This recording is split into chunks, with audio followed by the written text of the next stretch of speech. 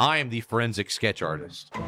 What kind of head shape? Circle, round, curved square. Would you say he has a big forehead? Like if this was his brow ridge? Boom. Heavy brow, high, kinda. cheekbones. Are we like they round in or do they sort of hollow in, you know? Skinny, flat, not sunken or anything. Semi-roided. Okay, there's a lot of blood pumping through this guy.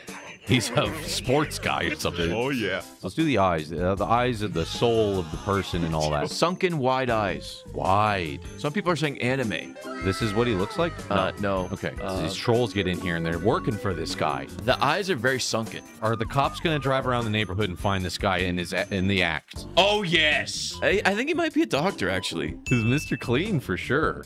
Arrest that man. Yeah, exactly. Arrest this man. Who is this guy? Oh, my God. His eyes. Who is this guy? Good answer. Good answer.